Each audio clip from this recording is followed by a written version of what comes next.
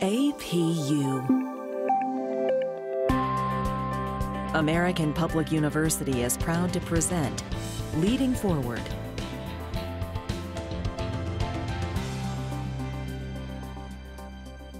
I'm Dr. Ashley Taylor. In this episode, we're going to discuss entrepreneurship and creative vision. I have with me Dr. Wanda Presley, and I want to thank you so much for joining me in this conversation. Thank you for having me. So, Dr. Presley, tell us a little bit about yourself and your professional background. My professional background includes a bachelor's and master's degree in criminal justice and a PhD in organizational management. I've spent the last 15 years of my professional career working as a social worker in child abuse and neglect out of the state of Florida. But for the last nine years, I've spent my time working as a professor and a consultant with doctoral students that are trying to graduate from college. And most of my students, they are struggling in some way with their program, trying to get through their program. And so they reach out to me asking for assistance with helping them with their writing and their methodology with regards to their current study. So most of my students are those that are struggling in some sort of way. Um, I have other avenues that I also dabble in as well. I have a, an athletic clothing line, and I also am an author and, and I write children's stories as well. That's very multifaceted.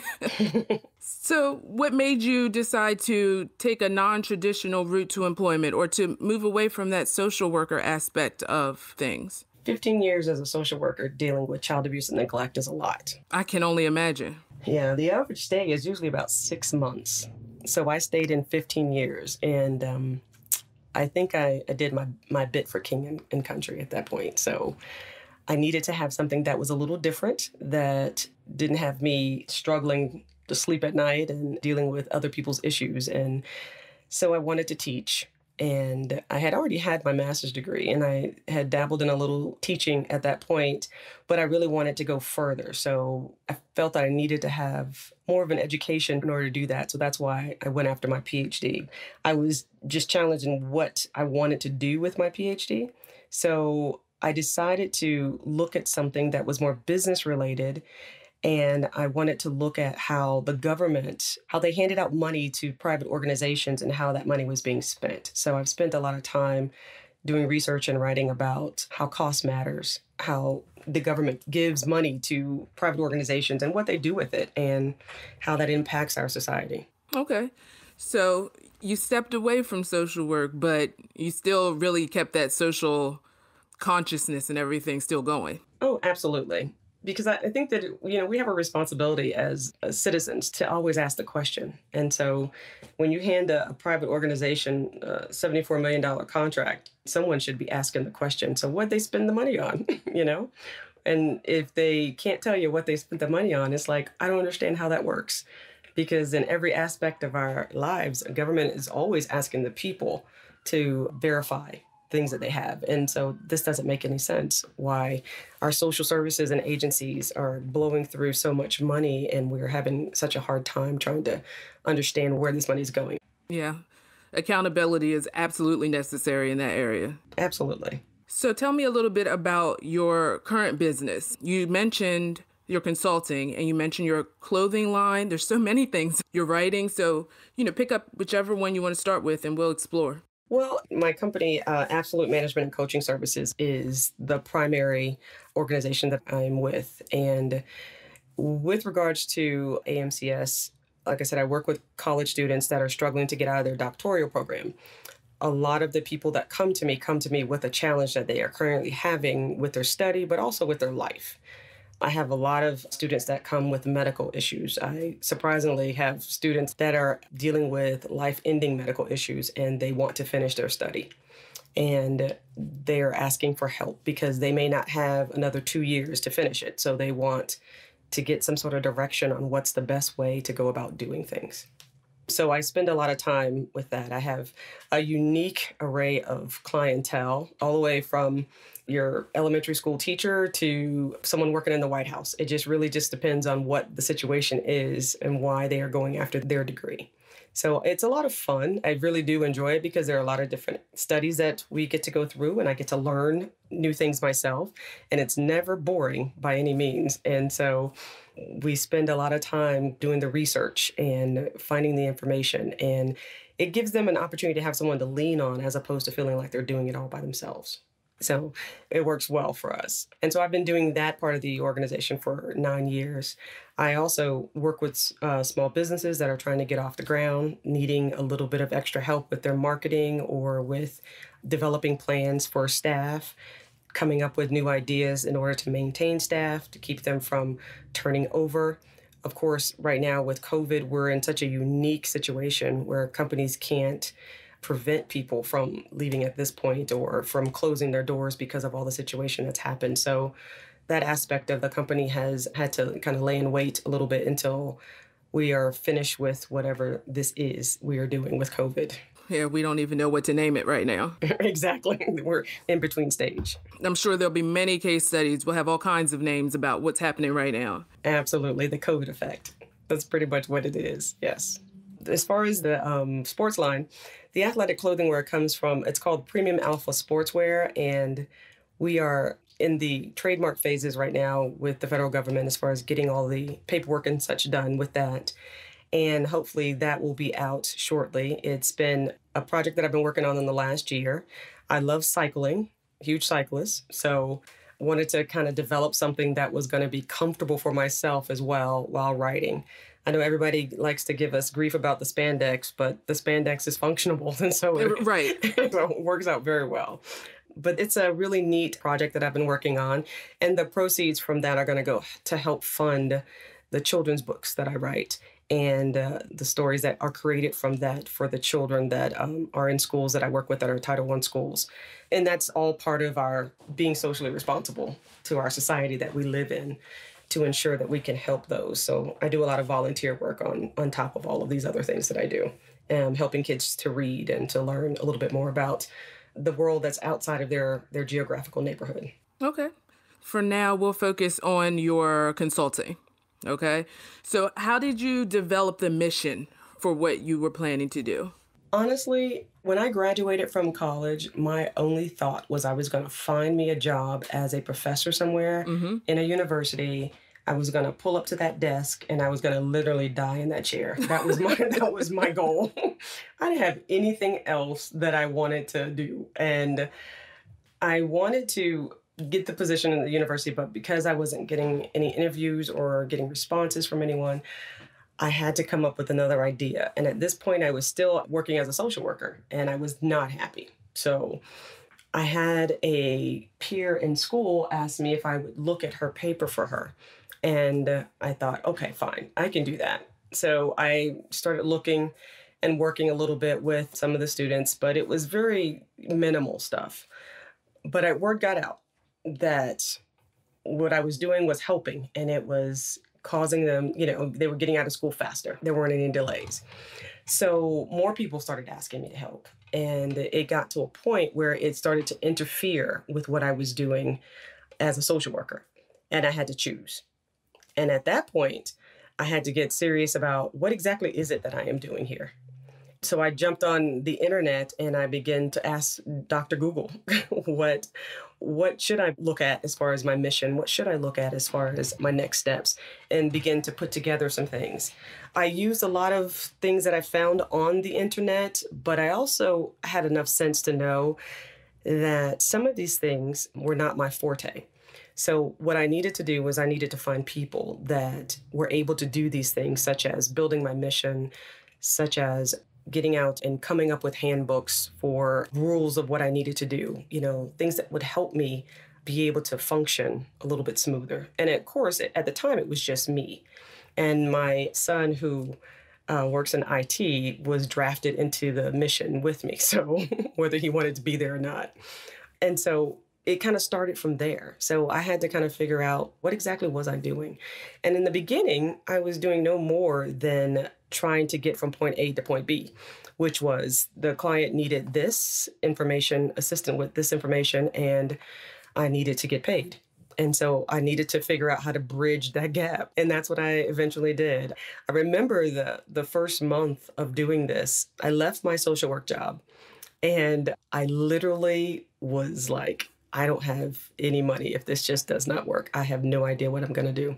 But I kind of let that part go. And I, um, first month, 30 days into it, no paychecks, no nothing.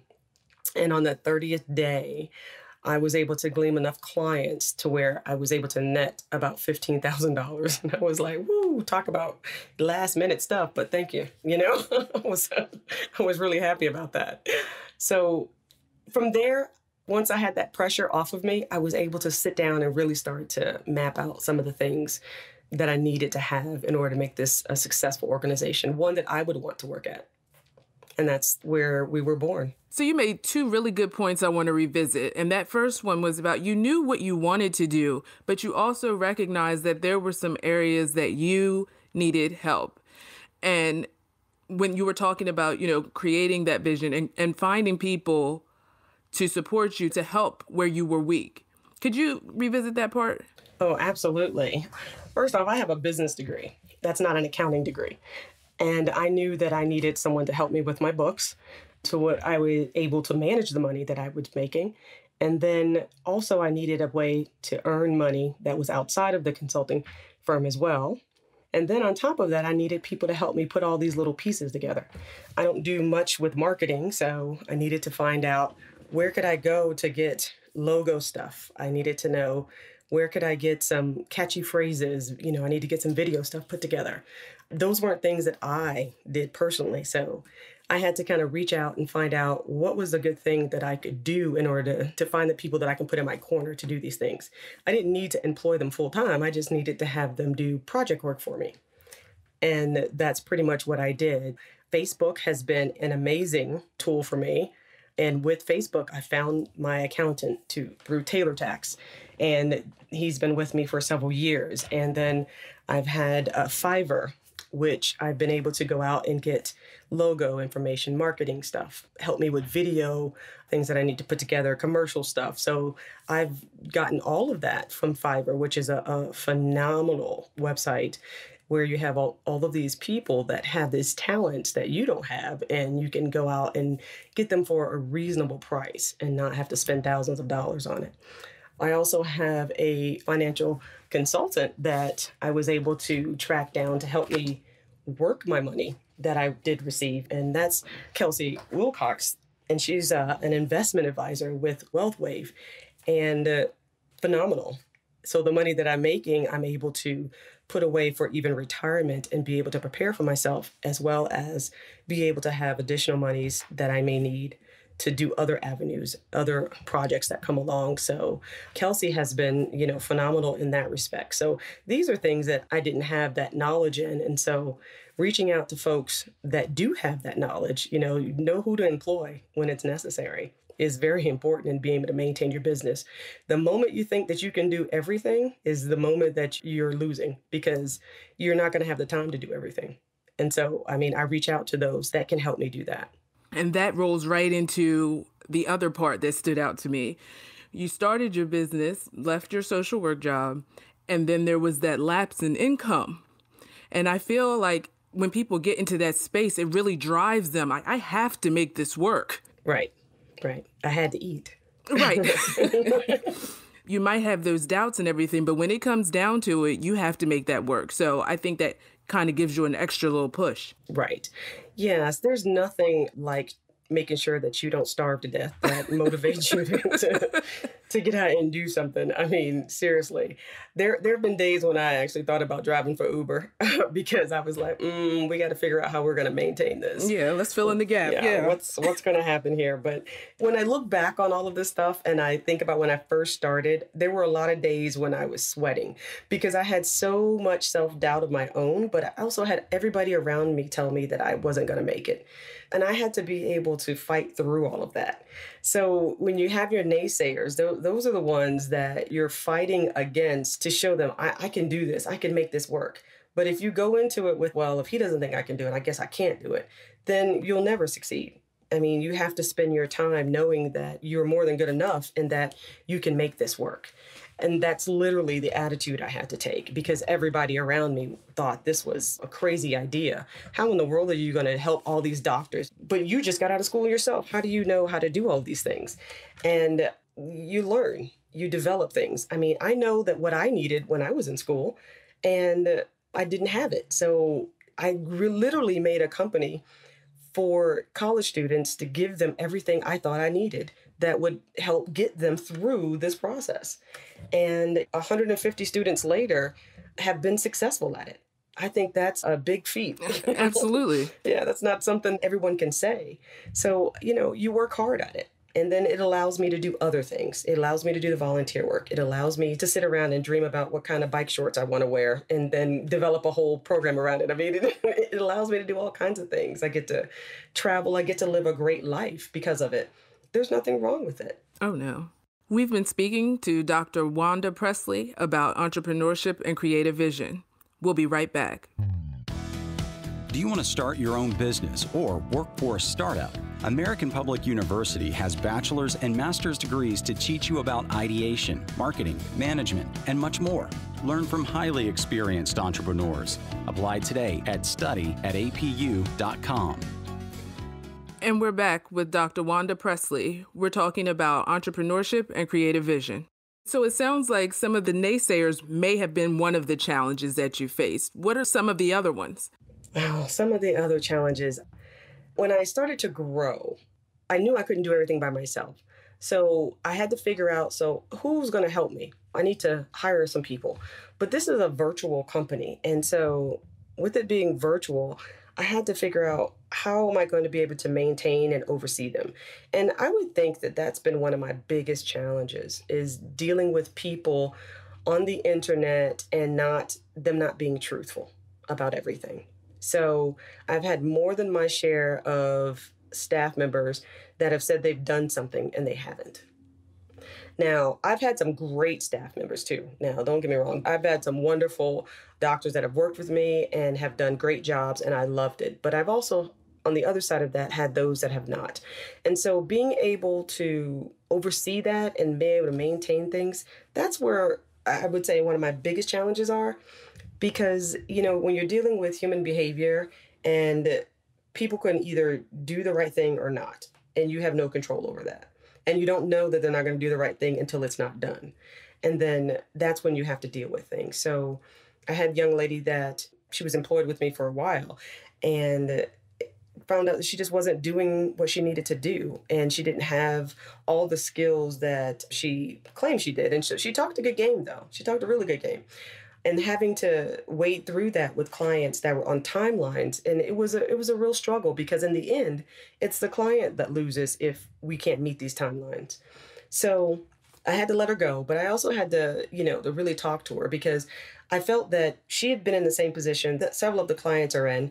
So there has to be some sort of compassion and there was just none and so from that point on, I've had to be very cautious of who I do employ and then what type of overseeing that I do. Because I've always been the type of manager to where, okay, here's the assignment. I need to get this done by this date. And as long as you're making your deadlines, I'm good. You know, I don't stand over you. I'm not trying to harass you to death because I think that you have a, an ability already, if you've earned the doctorate, to be able to do a lot of these things. And so I just found that some people are definitely in need of that hand holding, but this is not the organization to do it with. I mean, I really need to have people that are independent and are able to move forward and get things done without me having to stand over them. So, how have you worked through that when you get someone that has misrepresented themselves to do what you've asked them to do? How do you um, better screen these people? I now do more of a comprehensive training than I did before. And I require them to go through this training, which can last up to six months. And there's a lot of hand holding and joint sessions that we do with the clients now, as opposed to allowing them to just go off and do it on their own. And that way I can see if they are following through and doing what they need to do during that time. Six months is a long time.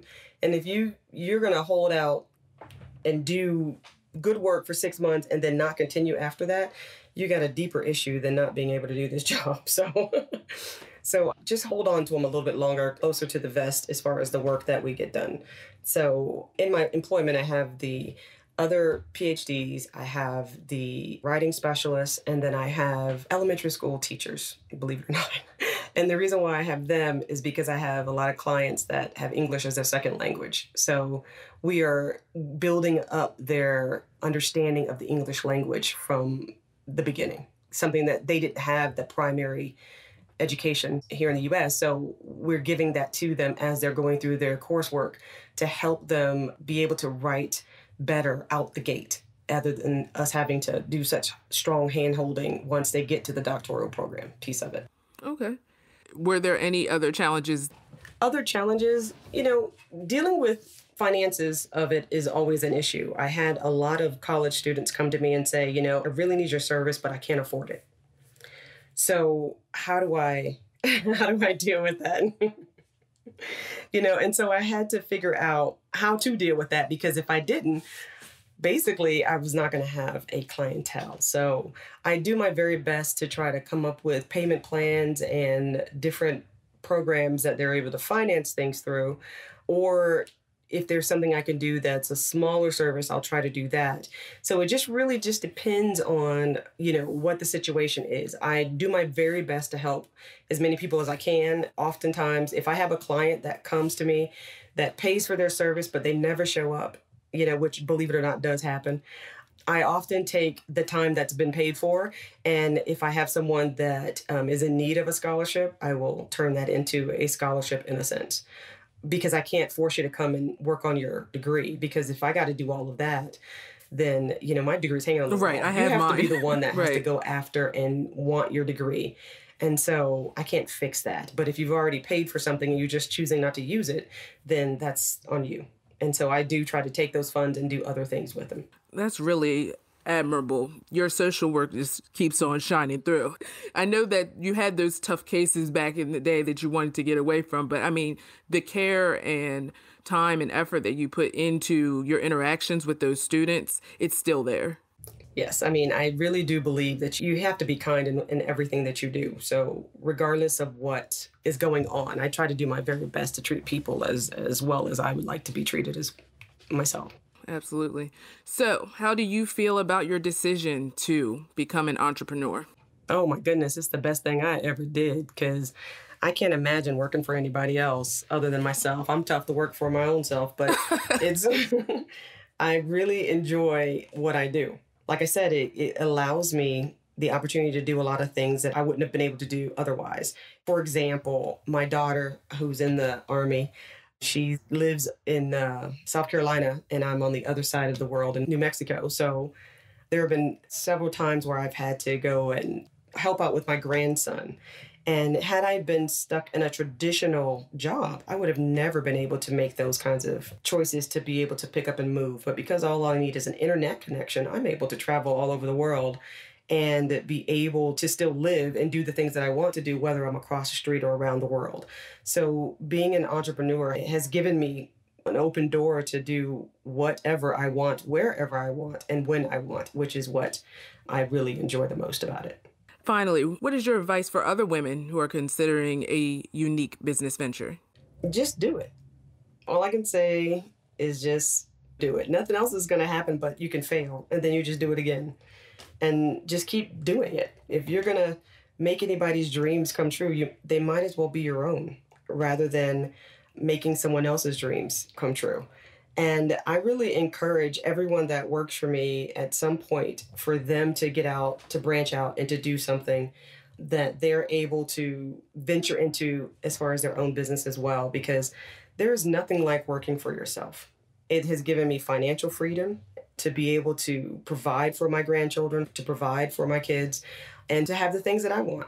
I just think you should just do it. We get so caught up in just working and getting a paycheck every two weeks. But you can still do those same things. I, I have health insurance, I have a wonderful 401k, I have all of these things because there are people that are out there that provide these services to the entrepreneur. And there's absolutely no reason why you can't have the same benefits you have at work that you have working for yourself. And I, I, think that that's the one thing that scares most of us because, you know, women, we rule the world. And so we have a lot of responsibilities on our hands. And because of that, you know, we're a little bit less likely to step out on that ledge to just test the waters of success. But I'm the person that I will jump off the cliff because I know how to fly. And so I'm not worried about it. And I, have been successful, yes, but when I walked out that first day and I had that first month of no income, all I kept saying to myself was, I've got to make this work. There is no other option. And so I just kept trying and trying and trying until I was able to be successful at it. And that's no different than what I do every single day now. When at the end of each year, I sit down with a piece of paper and I say, okay, what can I do better for next year? What can I do better in 2021? I'm very proud of the fact that I'm one of the probably one of the few small businesses that did not require any assistance from the government. I actually gave raises and bonuses out this year despite COVID and because we we've been successful across the board in every aspect of what we do and not just getting the work done but I've also taken care of my people. This was the one time that they definitely needed my help because of all the things that were going on and so I needed to make sure that I was there and I was available for them because that's what you're supposed to do if you're a good manager and what you're doing. That's excellent. That's excellent advice to just do it. I know sometimes and when we deal with the imposter syndrome, we deal with, oh, I'm not able to take that leap, I'm not sure. But sometimes you really just have to go for it. And like you said, you have to make it work, so you will make it you will make it work. Exactly. Thank you so much for spending this time with me, Dr. Presley, and having this much needed conversation. Oh, thank you very much for having me. I really enjoyed it. For more information about our university, visit us at studyatapu.com. APU American Public University.